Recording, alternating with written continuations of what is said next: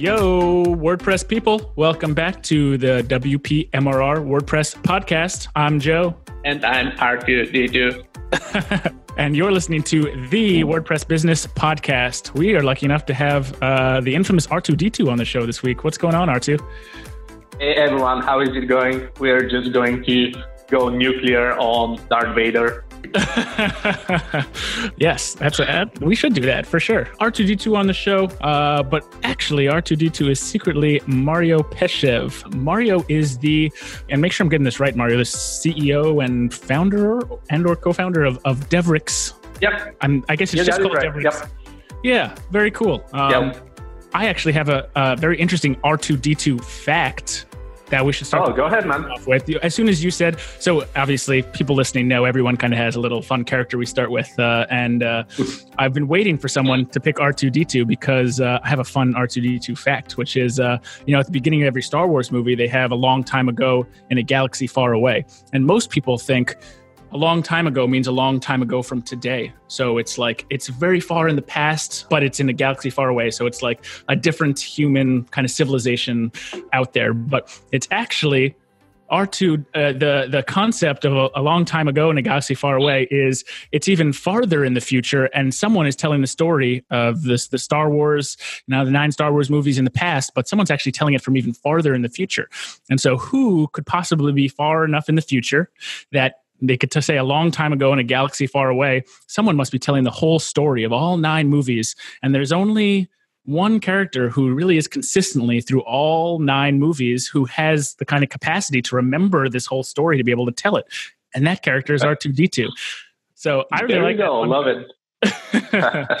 yeah. So Mario, you have a lot, big responsibility to uh, remember the entire history of the WordPress uh, scene. That's a long time ago. Yeah, absolutely. Yeah, I, I, can definitely relate to this one. Um, actually, kind of picked R2D2 simply because you know I've gotten lots of different jobs that I'm on Android, you know, due to different reasons, and mostly the fact that I'm working nonstop. And I'm also coming up with all those snarky comments. So R2D2 was actually the only logical choice here. Uh, and your story is actually supporting my theory. So thank you a lot for that. Yeah, nice. There you go. Uh, and I know our listeners can't really see, but I see you've got a little dog. You got a little pup back in there in the background. Yes, this is uh, Mara, our community manager. I'm at the office here, and she's protecting my back, so to speak. So yeah, definitely, it's definitely something that not uh, not everyone can see right now, but going to make sure to prepare a photo or something like that later. Yeah. There nice. you go. There you go. Yeah, this is Marvin. not, he is dead asleep right now, and then Oliver's right next to him. But uh, yeah, Marvin, we we say is our head of marketing. we did hire a head of marketing, so we said like Marvin, unfortunately, you just didn't do that great of a job as our head of marketing. So we replaced you with that. Actually, nice. We've got two mascots here on the show. And- I'm going to make sure that our community manager isn't going to get a little competition over the coming year, but we'll see how it goes. nice, nice. We'll have to connect. Um, we'll have to connect your community manager and our head of marketing via email, and we'll have to do some partnerships together or something.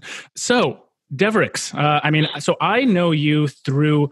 I think the first time I, I ever saw some of your stuff online. I think it was a WordCamp uh, Europe talk, uh, and it was about growing Devrix, and it was about uh, I think it was in general, it was about kind of growing remote remote culture and a remote team and just what that looks like at scale when you kind of pass like you know three people four people five people like oh double digits like now it's a real thing like how does this work? And i think i, I just mm-hmm. remember you very vividly from that talk being like ooh like i got to keep this in my bookmarks and like put it a repeating task to watch this every month so i can really like dig into it. But uh, tell us a little bit about devrix like uh, how to get started and what is it now yeah, absolutely. So we started late in 2010, actually a little bit earlier uh, through freelancing and stuff like that. But let's say end of 2010, uh, I started with uh, my, I'm going to say co-founder simply because he's been so hipster that he started even before the company was founded. Uh, so we kind of started working together. Uh, he's currently our CTO, Stanko. So we've been together since day one. Basically, we started with all sorts of development and also technical trainings and all that jazz. And just two or three, maybe a couple of years later, we completely switched entirely to WordPress and decided to only focus on the WordPress, uh, you know, core framework. That's what I'm going to say. So you started uh, out, so, and it was not it was not just WordPress. You were doing a few different you were doing a few different places, and then you decided at some point to just just do WordPress. Yeah, precisely. Actually, the name Devrix itself comes from two words, development and bricks. And essentially, we wanted to really kind of imply that development is a very thoughtful process, an analytical one that requires different pieces, and you need to, to put the different pieces together in a very smart and sane way, in a Zen way, so that they don't really collide with one another. You need to build a stable framework, a structure, an environment, whatever you want to call it, a foundation to build upon. And that's kind of uh, how the name came in. My background is actually in enterprise development, mostly through Java, but other programming mm. languages as well. So I came from the enterprise world and kind of many of the projects that came in as a freelance developer actually were PHP projects. So, you know, eventually we were working on different PHP gigs also, other types of gigs, mobile development and desktop and whatnot, even set-top boxes, you know, before smart TVs, uh, smart TVs were actually a thing. So at some point, we just decided to kind of focus on one thing, and WordPress was the, the thing to go. And right now, we are a team of, uh, I think, 40 plus people. We do have a nice fancy office here in Bulgaria with uh, nearly half of the people, I would say, even though again we have some people working from home uh, here too. But mm-hmm. let's say it's, currently it's kind of 50-50 previously it was more like 30 local 70 remote or so but but right now we're more like 50-50 even though we are not really abandoning the remote lifestyle. We just have uh, a bunch of different projects that require a lot of day-to-day uh, they're pretty intense. It's more like uh, on a maintenance basis you're going to relate to this one. So uh, communication is simply more paramount which is why we kind of brought uh, in some people locally in order to help us scale even further yeah, very cool. I'm I'm on Devrix.com right now, and I I love the homepage. Just I love how the team is really at the forefront. Like on the homepage, you land there. Like here's our team. These are some people. The, some of the people on our team. These are the the real people that make up our company. You'll be working with. I, we've tried to do, go a similar route. If you go into WPBuffs.com, I kind of have the people mm-hmm. in the mm-hmm. background who are you know really powering the company. So I like that. It says a lot, and very interesting that you kind of come from an enterprise background. Do you find most of your your clients are, are more in kind of the large business and enterprise space? Because I think there's a big difference between the work being done in kind of large business enterprise space and then kind of more the works that WP Buffs does, which is more entrepreneur, small business. Like we're just not set up very well to do enterprise work because we our systems are have created and the business model is such that we work, you know, on, you know, anywhere from $50 a month to $400 a month, you know, care plans, whereas you guys may be a little more expensive, but it may be kind of in the enterprise space. Is that kind of where you're focused on mostly? And and what does that look like in terms of like systems for enterprise? It must be it must be at least somewhat complex. Yeah, that's a that's a wonderful question, or I would say a wonderful set of questions. Essentially, you're right. We are definitely focusing, I would say, on the enterprise or at least high scale projects. Our. 3 mm-hmm. main targets are medium enterprises and some well known top brands. Uh, high scale publishers, we do have some publishers scaling hundreds of millions of pages a month, and this is one of our specialties. Uh, also, uh, funded startups, especially those who specialize in software and service. We are actually one of the very, very first uh, WordPress businesses who have been building SaaS applications back in, I think, 2012 or so. So we launched several SaaS apps back then. And this was a you know huge win. It's getting even better and even easier to launch software and service applications on top of WordPress. So this is also a target of ours. But essentially, we are working with larger businesses. We are working with complex code bases, and we really enjoy solving challenging problems for our customers. We're talking performance issues, uh, uh, stability, scalability, API integration, different architectural programs, integrating, you know, all sort of complex jobs that we can come up with. Basically, that's what our people enjoy doing. So this is kind of a nice collaboration between our staff and people who are in need of, of that kind of complex know-how, so to speak. And we found our way, the kind of enterprise needs WordPress. And this specific niche of this tiny percentage of clients using WordPress as a robust platform, or those who have scaled to a certain point and they can't really find someone who can take them to the next level. And that's when they actually call. Yeah, that's cool. I like that. Uh, I it, no matter what you know market you're sol- you're you're trying to solve problems for, it's still important to have your kind of niche. So, like, we're just working with large businesses and enterprise customers or clients is still a huge area. So I like the fact that you're although you're working with this huge, you know, client base or this huge audience, you still have very kind of specific criteria for the kind of people who you're ideal for because then you can really focus your marketing a little better and your sales just to, to say hey like this is what we do. You know we're the best in the world at this thing. And so if you want to do this thing come to us to help. It's cool that this uh, you know working with these high traffic publishers i mean that's something i want to dig into a little bit. You know millions of page views a month what does a project like that usually entail to make sure that a website that's getting that much traffic that you don't have you know 100000 out of those million visitors having a slower experience because the, the host is not able to to carry as much or it's just you? What are the things you're kind of scaling to like make sure that that people who are getting that much traffic are really delivering the prime and premium experience to every single website visitor? Right. So there are lots of different possible cases to solve performance for high traffic publishers. I am going to use the most complex bunch of them, and those are the viral publishers. You know, viral, viral publishers generally try to get as much traffic as possible to their websites, and the trickiest bit is they're actually running tons of ads. And with tons of ads, it's extremely challenging to make something work and scale through time, especially if you have video players popping up and refreshing here and there, right. some popping up at the bottom of the bar for mobile devices within, say, Facebook or Snapchat or whatnot. And this is really making things more complex on a whole other level.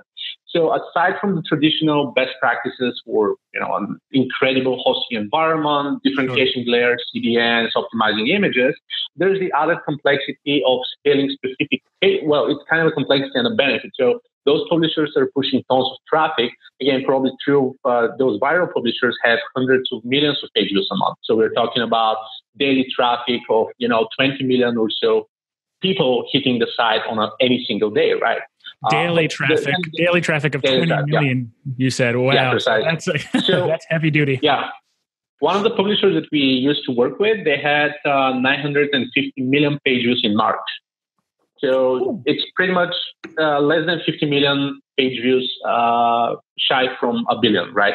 So that that's kind of the type of traffic that we're working on. So the trickier bit is actually managing ads in a reasonable manner so that they're both profitable, which is a you know tricky science on itself. So we have mm, yeah. people specializing in ad operations right now and other things, and and also making this whole experience bearable for different devices and different people scrolling through uh, different sorts of income channels, such as again Facebook or Snapchat or Taboola or some other like maybe Yahoo, maybe uh, whatnot. Uh, so then we need to implement different sort of solutions like custom lazy loading or infinite scroll so that different chunks are loaded at a time, or even destroying former units and former images from previous slides just to allocate buffers for the coming sections of the page that are going to pop up. So that's where it gets a little bit more interesting, and that's kind of what it takes most of our time, just to be squeezing the most out of performance. Because even a you know five millisecond delay, when you account for those 20 million people who are going to hit the site, now that's really adding up very quick.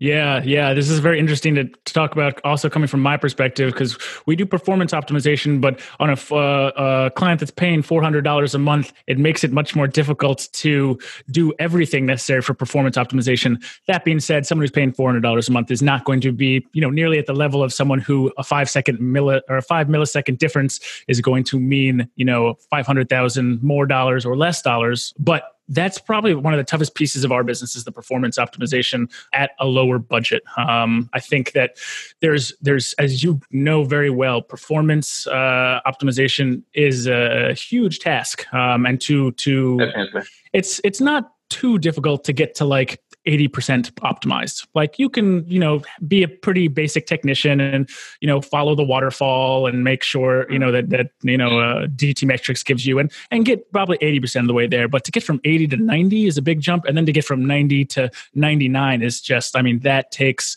really daily work. And most likely it's going to be a, you know, a team of people doing that. But it sounds like you guys have, uh, have kind of built out the resources to have a team doing that kind of stuff for a client that knows that the investing in the the infrastructure and the team to help do that is actually providing a, a, pretty big ROI because if the website's fast or the application's fast, people are enjoying themselves, people are having good experience, they're more likely to view ads or check out or whatever the money making KPI is. Exactly, and and it's getting even more complicated to be honest. Because let's say that let's say that you're running I don't know uh, PageSpeed or GTmetrix or something else, and you check out the site and say, oh wow, this has you know 140 uh, HTTP requests, right? And you say, wow, that's a lot. We can bring it down to eight or so. Like let, let's say that this is one challenge by itself, and then you go to a publisher website who has a quiz of the hundred I don't know, 100 questions for the most popular Marvel characters. Let's just say as an example. So you have 100 questions. Imagine insanely long quiz or, uh, you know, very long article or a gallery or something like that is going to show up in its entirety, right? So you have 100 images. So there you go, 100 requests on its own. Then you have a couple of video players, each of those players sending 300 requests by itself and then refreshing every, I don't know, five or 10 questions or so, and then adding another 300 requests to the entire browser experience, right? So those are some of the challenges we're, that we're dealing with. And we can't just go to the client and say, hey, man, uh, you need to remove your player. And say, are you crazy? This is bringing like 30% of my revenue. And you say, well, bummer, right? this isn't really an experience that you're going to do. So what I'm trying to say is this is kind of one specific challenge that you need to work around all those limitations and all those things that you can't really get rid of simply because this is the money making machine. Or on the other end, you know, uh, clients need to iterate really quickly. You need to allow them to do some, I don't know, custom editing or some other stuff. And then again, you need to find the balance between something that's more or less adjustable and customizable, but then not too much because you need to keep performance top of mind as well. So this fine balance by itself is really occupying uh, a good chunk of our time for those high traffic publishers. Yeah, I mean that totally resonates with me. I think one of the hardest parts about performance optimization is it's not always just the the technical aspect of making a website faster, it's the whole conversation around what can we change on the website in order to make it faster. And I think if I'm being honest, that's probably one of the challenges we have is how do we communicate well with our clients at a lower budget to do performance optimization because you have to have these meetings and these conversations with people like what can we remove? What can't we remove? Like you know if something's causing you know a half second loading issue but that's a huge that adds a ton of functionality to the website you obviously can't take it out or, or it's uh, it's important for that website to make money. You obviously can't remove it so you have to have that conversation about okay like we can't can we remove this or not? Like how much does it impact you? Oh it impacts you a lot so okay now how can we optimize that based on your server setup based on other plugins theme you're using all this stuff? But yeah super interesting. So it sounds like you have teams in place to handle all of this. One of the other things you have kind of listed here in the show notes i'm looking at is you guys have a an r&d team um, or you're it's, it looks like you're it says building. So building an r&d team uh, for ongoing success across portfolio clients. There are a lot of big agencies in the WordPress space that that work on you know enterprise, medium to large businesses. But I haven't heard very much about people having a specific team for research and development. I always say like, and I know that listeners here, there are a lot of WordPress professionals listening to the show who would totally be interested in this. But I just selfishly just want to hear it for myself. Like, what's up with the the R and D team? What was the impetus behind that? Tell us a little bit more about what's going on there. So here's what's going on. And I'm actually going to give an example with your business. How many clients do you have right now? I read the annual report, but I just forgot the number. Apologies. So websites managed were just over 400 uh, clients. I, right. that, that mm-hmm. probably makes to 250 to, to, or so clients. Some people have multiple websites. Our white label clients have multiple. So, but 400 plus. That's fine. Mm-hmm. That's fine. So let, let me make an example out of it. You have 400 websites that you're managing right now. And let's say that you sit down and you suddenly realize that 40 of your clients, for example, are e-commerce, right? So this is about uh, 10% of your websites are e-commerce and they happen to like 80 or 90% are going to be WooCommerce clients, right? So this uh, adds up to about 30 clients for WooCommerce. And let's say that they're paying, I don't know, 100 bucks a month or so. So this is, uh, what do we have? 30 clients, 100 bucks a month. You have, you know, uh, $3,000 a month that they invest in your services, right? So what if you allocate half of those money, like uh, 1500 what do you, what, what if you allocate them and actually hire, you know, half-time person or whatever it is and say, let's figure out what are the, the kind of most crucial pain points of those customers and try to build them across the board of those clients, right? So effectively what you do with an R&D department, especially if you niche down enough to to either have a large portfolio portfolio of clients, just as you have in a maintenance business, or uh, several specific verticals you're working with, then you sit down and say, okay, let's kind of hypothetically allocate 20, 30, 40%, whatever it is from the monthly revenue coming from those customers. And let's figure out what we can make if, you, if we combine this effort. Know, instead of working in chunks for every uh, client of ours, we allocate those resources combined because they are for the same niche of customers, the same group of customers facing the same major pain points and what we can do to make it even better, right?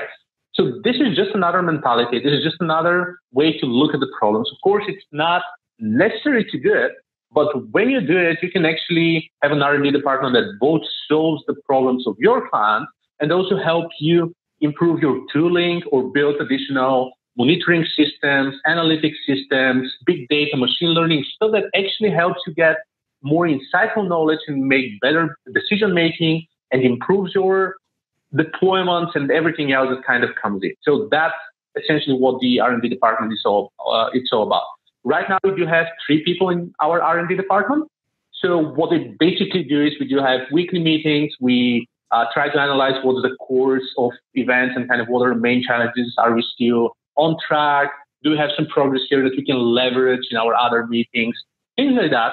And then we take that knowledge, we gather together, discuss some stuff, plan for additional iterations for things that could benefit all of our customers within that specific vertical, and iterate in a pretty lean, agile manner. Very cool, man. I love the idea of as you're growing and gathering new clients and you're kind of grouping them into areas, you can be far more efficient trying to pool the pain points of 40 customers as opposed to one or two and building a solution that can work across all of them. I think a lot of people hear the term r&d department and they think wow like what a, like like that's a money pit. Like how expensive must it be to have an r&d department? But i actually and completely based on what you said right it's not at all. In fact in a, in a lot of cases if you do it correctly it's actually the opposite because you're solving problems for multiple clients who will pay you for the same solution across all those clients, but you're not just creating a custom solution for all of them. You're actually kind of doing it in a much more scalable way. So I love that idea, man. I think that that's something I may steal something, you know, steal some ideas from that coming through this year. It's not on our roadmap yet, but that's something that I just kind of wrote down. I just typed it out in my kind of little personal notebook saying, hey, later this year, let's think about like what that looks like. Um, because I think for businesses, if you if you're running a business and you want that business to to grow and to scale, you have to find ways to make it scalable and make it easier on yourself. And to me, this is a very it's a very good place to put an investment because you're fi- you're you're making the whole system a little bit more scalable so you can provide solutions to, to across multiple clients but kind of do the put in the time and the resources and the financial load into kind of one solution but that one solution will provide it will will help multiple clients. So very cool. Exactly it, uh, and and and actually if you if you if you take a look at this entire model it makes a lot of sense for pretty much everyone because at the end of the day you are charging fewer hours per customer because you're effectively splitting you know the amount of r&d across customers. So they're extremely happy because they get something massive you know, super spectacular, incredible, awesome thing that you built for, let's say, I don't know, 500 hours, and you split it across five plants for 100 hours each, right? So they say, wow, I just got pretty much 500 hours worth of work for just 100 hours, right? It's just like what you do with premium plugins, right? You you only charge 20, 30, 50 bucks, but you know how much it costs to actually build an effective uh, premium plugin. So it's a similar mindset. So customers are happy. Uh, you may distribute your resources in a much saner manner. And more importantly, when you have similar problems, and if you can provide a library, a framework, a toolkit, a tool or a system that works across all of them, you're effectively reducing your QA efforts, your maintenance efforts, and everything else because you're maintaining the same solution across all of your clients. So again, this is another important note, and this is one of the reasons why we're niching down. Again, we started as a more or less generic technical agency, then we niche down to WordPress. Now we're niching down to specific verticals because this helps us accomplish the second most important thing. Well, not the second, the other most important thing for the business, which is providing ongoing retainers, which also include the business consulting element. So effectively, the reason, the difference between the services that you offer, the maintenance services for uh, more or less smaller clients who can't afford the, the, big plans, and our retainers that, you know, in theory they seem really similar. The only difference is that we're investing in all this R&D, And we have the ability to, to pull real data, real world data, and then advise on this data and on workflows and approaches and everything else, right? So the entire management consulting and operations consulting bit is what we take from all this equation. And this is what actually helps us really contribute to the bottom line of uh, enterprise grade systems. Yeah, I think that the if I've I've I've thought on multiple occasions about what it looks like for WP Buffs to move up market, uh, and I don't know how well positioned we are for that because we've just again everything we've done has been based on like helping the little guy with their website, but and you know, and at the end of the day, it may be a separate company that does that, but. I love the idea. I think most of the things you're saying are things that really resonate with me in terms of things I've thought about. Like, what would it look like if WP Buffs, like, what does enterprise level maintenance looks like? Well, it may not even be called maintenance. It's probably called something more like a retainer. Um, and it's probably something where people are investing not just for their website to be maintained, but they're investing on an ongoing basis, on a monthly basis, in order to push their website forward constantly. Uh, and I think mm-hmm. that's the kind of result that that uh, you know people are somewhat looking for when in what we do, but definitely they're looking for that ROI in terms of like large businesses and enterprise. You know, they want to they want to pay, and a lot of times the price is not you know the the difference between ten thousand dollars a month and twenty five thousand dollars a month it doesn't always isn't always that big for an enterprise level. They just want the result they just want it to get done. And if you can if you can figure out how to to ha- be high impact to them in a scalable way for your own business like it sounds like exactly what you're doing then you can be in a really good place retainers is something yeah, else that we have on the, the the list of things we wanted to to talk about what does a retainer generally look like for like an enterprise level client or like i guess you don't have to go exactly into that that single client that you were mentioning that does almost a billion either users or a billion page views a month. What does a retainer look like for someone who's just at that size and that scale? So there are different ways to to arrange all that, and this is actually one of the main things that we've been discussing internally over the past couple of uh, months. Essentially, what it uh, what all this is about is figuring out a way to to to contribute to the bottom line of that specific customer or what I'm trying to say here is different customers, and all of them may be uh, funded startups or publishers or enterprise or anything else that we kind of uh, try to, to focus on. But they have different roadmaps and different sorts of, of kind of growth strategies. So we're trying to be adaptive to all that, right?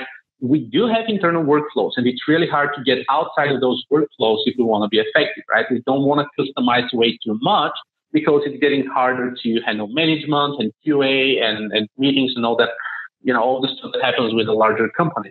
But effectively, we are trying to figure out models that are profit, still profitable and can contribute to a specific business, right? So for kind of our traditional package is we analyze the business, we analyze what they're after, we analyze their traffic or rough revenue, like we're trying to gouge at least a rough number. And then we say, okay, what we think uh, is going to, like, we're going to try with a more or less three month plan just to gouge and, and, and kind of test the waters and figure out what a, a profitable collaboration is going to look like, right? So we are going to start with this one. And then we, you know, it's, it's kind of a limitless contract, right? It's going to expand in the very same manner if everything goes to the plan. But otherwise, month two or month three, if there are communication problems, if you know, all the tasks are way too easy. If, if the pace is actually slow, so they want to move faster, then we're probably going to adjust it one way or another. We are going to bump up the monthly hours. We are going to allocate someone half time working on this project or or something else. So we uh, more or less we are starting with the agreement that the first two three months are going to be just trying to make the communication work in the long run, and then the next two, three, four, whatever it is years, then we are going to find a profitable way to start supporting the ROI of the business. And this may be through a traditional fixed hourly uh, monthly plan or kind of a minimum cap and then adding additional resource for different things or kind of a hybrid combination of someone who's semi dedicated and then having other resources helping out in different manners. I guess you can go kind of two ways. You can have a retainer which uh, says, "Here's how much you know you would pay us per month, and here's how many hours that equates to. So this is the amount of hours that we're going to hit in this month." You could also do it by saying, here's a thing you need done. We're going to dedicate hours to it. And then I guess we're going to invoice you at the end of the month, not knowing exactly how many hours you're going to have, but kind of being at a rough ballpark. Which method do you guys do? I guess those are both methodologies, but you guys do which, yeah, which one do you guys go with? either the first one where we do have an agreement and then we can do the all the management, all the internal product planning. We basically become the the product owner internally, right? So we say, okay, having those resources and that manpower, this is what we can do. This is the long-term roadmap. This is how we are going to structure it, propose it to the client, get the green light, and then work according to, to those plans. Of course, emergencies may happen, last minute requests may happen, but more or less this is kind of the traditional way we are doing things. The other way is to, to go for a minimum plan so that people can book our a minimum power resources so that again we can just allocate people for them but have the opportunity to scale to a certain level. Like let's say they book 50 hours, but they have a way to go to 100 or even 120 if you know it's a successful month, usually with at least a week of, prompt notice, right? So those are kind of the two possible ways. We try to avoid the idea of either ballpark of hours that we distribute over time or just a rough arrangement because we've had this problem before. We have a client, for example, we are working for six, seven, eight, nine, ten months, and then suddenly they almost disappear and they don't really respond to our change sets or they don't want to review change or whatever it is because they're busy. So two months pass by, they're back, but what should we invoice, right? They're not really happy with getting invoice for work not done. They're not really happy because we're pretty much pending changes and stuff. So this is a little bit tricky. So we try to commit to a certain number or a certain minimum of uh, hours slash price that we charge on a monthly basis. Yeah, I think with with uh, enterprise clients and, and it's it's somewhat similar with our client base but definitely with enterprise a lot of the uh, work is just communication. Uh, i think at, at enterprise level companies there are just a lot of moving pieces in that company just in the company who's the client of yours there's a lot of you know whose permission do you need to do x y and z? Uh, and so i think that's one of the reasons i've actually been hesitant to even like think about the enterprise space is just because like i don't know if i want to do all that communication and try and like get through all that red and yellow tape. It does have its benefits for sure but i'm sure it's also pretty tough. Have you guys encountered that that's been something you guys have had to kind of figure out? Is something you have to like dedicate certain team members that are almost just purely kind of i guess like project managers like communicate communicators. Is that something that's just kind of a role there at Devrix? Yeah, of course we do. We actually do have like three project managers, uh, project managers right now. We do have an account manager who's also acting as sales as needed. Uh, we do have all the kind of senior management jumping in for all sorts of different scenarios. And we also do have the so-called role project owner, which is a role that we've defined for a technical lead who's uh, primarily interacting with the client alongside the project manager. So more or less, communication is definitely an important step. It's definitely something that's a hard requirement for our customers. And essentially, this is why we are trying to build so many communication vectors in order to improve the whole process. And at the same time, we are trying to make the process sane or at least as much as possible. Like we do have, of course, a project management system. We do have Slack. Uh, and we try to document everything. We try to prepare monthly roadmaps. We try to, you know, gather hourly reports and all other sorts of kind of uh, priority lists and everything else that needs to happen from our team. So it's a combined effort that happens on multiple fronts. And of course, we keep improving over and over and over again, but that's, uh, that's kind of how it goes. But to be completely honest, for enterprises, it's mostly the, the startups, especially the funded startups that are moving really fast. With right. enterprises, it's usually the, the paperwork overhead, uh, many, many, many layers of management in different pieces, in different places, getting a sign off on a yes no email in two weeks, and, and things like that. Uh, lack of access to different systems, two factor authentications going through someone's phone number, internal VPNs working only on Internet Explorer 9. That kind of stuff is actually the problem with enterprises, uh, essentially. It's not really the, the hectic timelines and whatnot. It's mostly this tedious process that again, most of your time actually goes into communication and trying to find workarounds and not really doing the work that you're hired to do. Yeah, for sure. That uh, that Internet Explorer thing hits a little too close to home for me. I've done uh, I before I did WP Buffs. I was a government consultant uh, here in DC, and oof, I used Internet Explorer a lot because no other nothing else worked. So I I get that. You know cool. Yeah, exactly. Um, cool. One thing you kind of mentioned was um, talking about sales for enterprise. I'd love to dig into that a little bit and what that looks like in terms of um, you know bringing on new clients in the first place. I think for what WP Buffs does, we do a lot of uh, a lot of our marketing is inbound. Uh, as listeners know, I've talked about it you know multiple times here on the show. But uh, a lot of people coming, reading our blog, joining our email list, and then kind of getting dripped into our sales sequence if they're interested, and we provide the education, and then they kind of make the decision: Do I want you know a care plan for my website? Do I want to join the white label program and have uh, have uh, uh, you know WP Buffs manage my clients for me? Inbound may be a little easier for people you know who are at our price range. I'm not sure what sales looks like on an enterprise level. Or is the is a VP kind of finding your website and saying like, oh, I'm going to contact these guys, or is it more you know people, the heads of the company, kind of reaching out and doing relationship building with people over 12 months or so to really start to bring them on board? Yeah, what does that look like?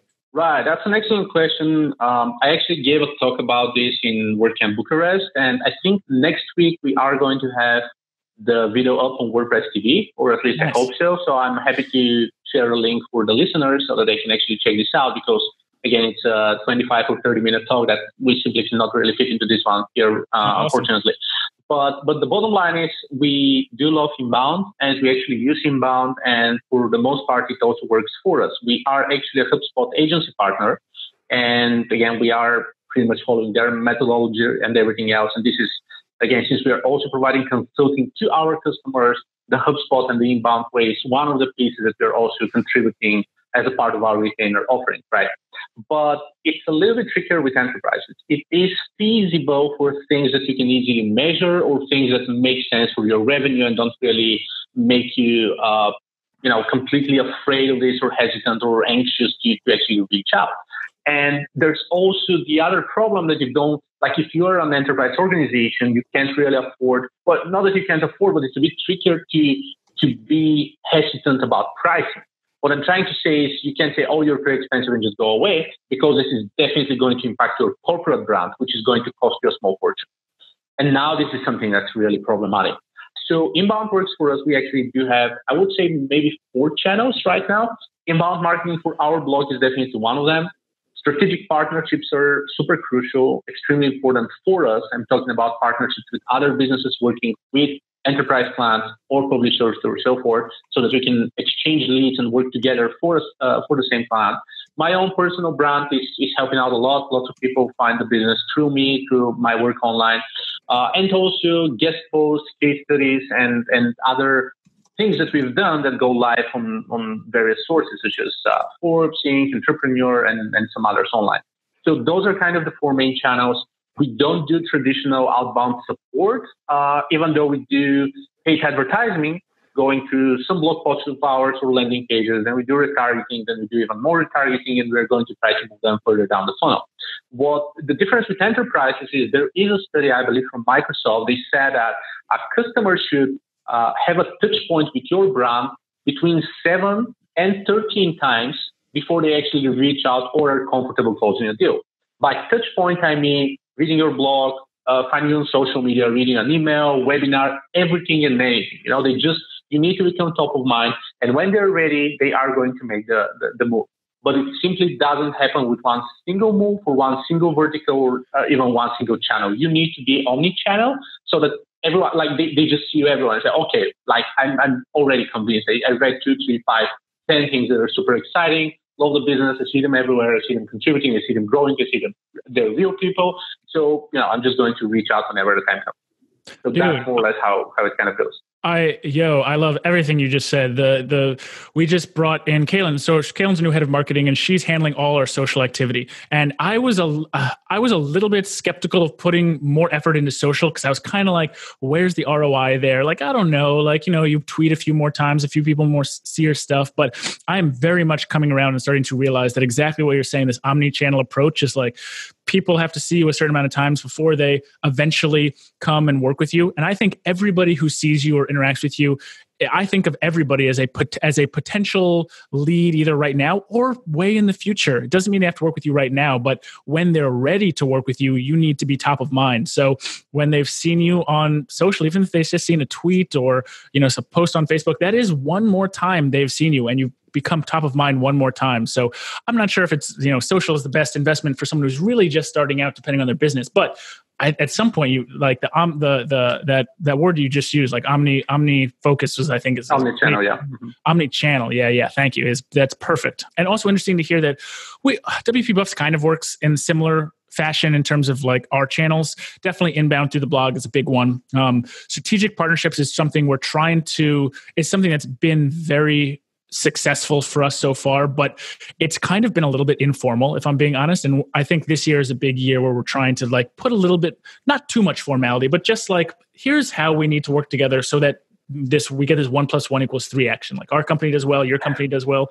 The customers get two awesome solutions. I mean nothing could be better than that. So i love that idea. And i think that is a very underutilized channel for a lot of people starting off and kind of trying to grow their business. There you don't have to be working or partnering with the biggest customers are the biggest partners in the world. Like we reached out to um, SiteGround about a partnership, and this was probably like a year ago. You know, when we were smaller, and they obviously saw us as kind of a small fish. And then they, we saw that they announced a partnership with Codeable, and I was like, okay, like of course that makes sense. Like I wasn't mad or anything, but like of course it makes sense. Codeable is is is a, at, a, at a scale that makes sense to work with the SiteGround. So it makes sense depending on where you are to to a strategic partnership with someone who's kind of at your level and you can kind of grow together as opposed to trying to reach out to just the big fish. You know you guys can partner with a big fish because you are a big fish but you know a medium or small fish there's no problem with being a medium or small fish but you want to gather with your crew to try and you know maybe become a bigger fish i think. So i love that strategic partnership uh, mention. That's great.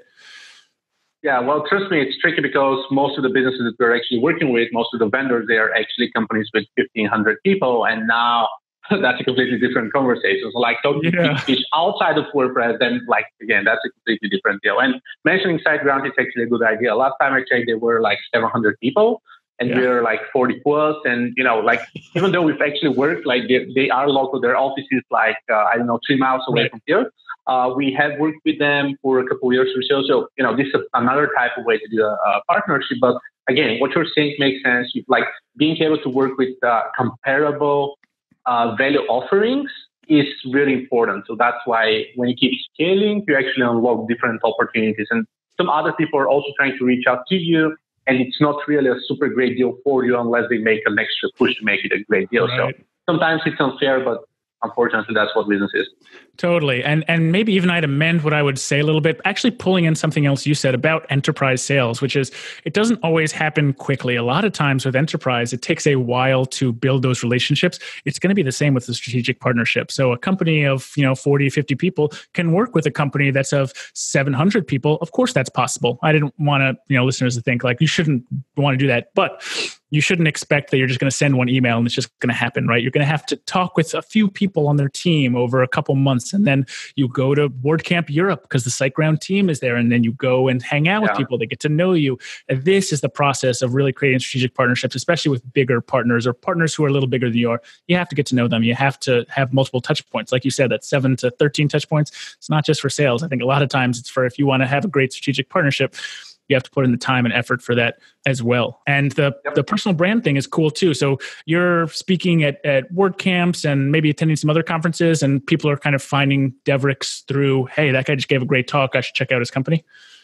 So for our type of business, WordCamps aren't working at all. Uh, to be completely honest, I know of very few companies that uh, manage to land bigger clients through WordCamps. It's really rare. It's extremely rare, even though like the past one or two years, there's a little bit of movement in, in the market. Like other types of industries are trying to come to larger WordCamps just to see what it's all about. And then you can potentially schedule some meetings. Like this time for WordCamp Europe, I wasn't able to, to go myself, but we had like five or six strategic meetings with prospects there simply because it's large enough and they also want to talk to different vendors. But mm-hmm. for the most part, this isn't really a great uh, place to go. It's either niche related or an industry uh, related or a community related or or, or something uh, around those lines. And most of my branding nowadays, it's really uh, you know, writing content for YEC, for example, which gets published on Forbes, Ring, uh, writing on Quora, which gets published to, again, other sources, having a kind of contributor account on entrepreneur.com and some other places which really uh, kind of helps out